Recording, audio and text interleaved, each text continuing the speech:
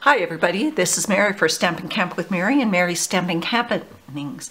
I'm an independent Stampin' Up! demonstrator and today is Tips and Techniques Tuesday. And today I want to uh, do some more work with our blending brushes and um, some dies. Now I've already cut out, the, there is so much you can do with um, dies. I used, uh, for this one, I used the, the hydrangea dies. Um, I had already stamped and cut out a few of these with the uh, stamp set and used them on cards, but I had a bunch of these left. This is out of um, a piece of um, watercolor paper but these are out of the um, just Whisper White, and you can use those if you want also.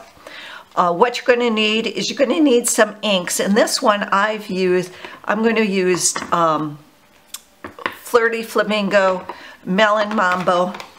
I'm going to use Old Olive and Garden Green um, to blend the colors with our blending brushes. And first of all, you're going to just stick this on a piece of Whisper White, whatever color you really want. You can do it almost to any color. And I'm just going to put it over because I'm going to use, I'm not going to use this again, um, the Whisper White. I will um, use that with my punches and I will just um, punch some punches out of that, punch some punches, punch some labels out of it. So I'm going to use washi tape to just to hold this down.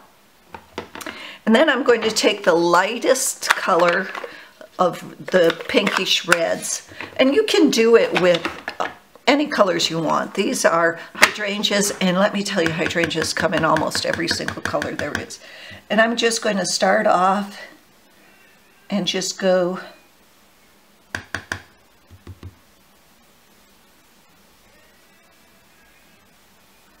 around.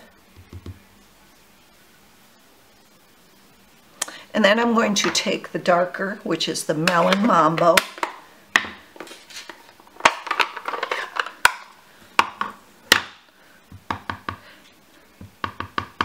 And I'm just going to go on the outside. Just, what I'm doing is I'm just blending it.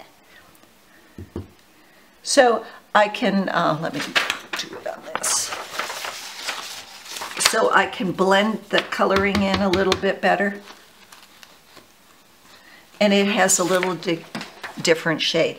And then I'm going to do the same with the greens. So I'm going to start with Old Olive. I'm going to take my green blending brush and start with Old Olive. And I'm going to just, again, start outside and go inside with the blending brush. Oh, yeah, Mary got pink all over. So it's going to have a little pink on it.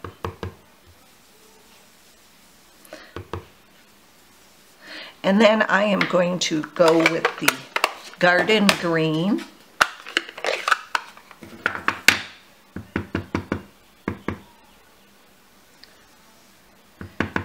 And here I want to get the stem a little darker because stems usually are darker. Now and again, I just want to blend this in. So I'm going around in circles to blend that in. So it, you can see a little bit of the difference. Okay, then I am just going to take this off. Now you can use it as is. You could even leave it here and use the, where is my, use the Stamparatus and you can stamp, ink up this, the hydrangea, and lay it down on there and pick it up with the Stamparatus, then put ink on it, and then you can ink it. I just want to use it as this.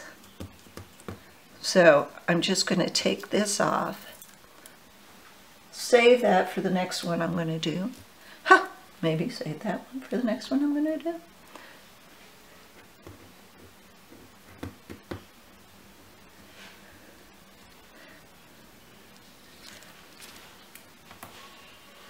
And there you go. Now, with the hydrangea um, Haven, you can take your stamp cut emboss machine and you can cut this out and you get like this. And this, I, I told you, I uh, did some of these, um, you see blues, pinks, reds. Uh, did some of these with the little hydrangea ones, this.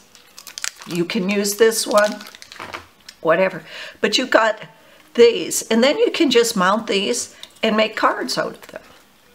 So, I want to thank you to visit. Um, I'd appreciate it since I'm an independent demonstrator. This is my small business. If you'd shop with me, and please follow me on uh, YouTube. And thanks for visiting. Happy stamping. Bye-bye.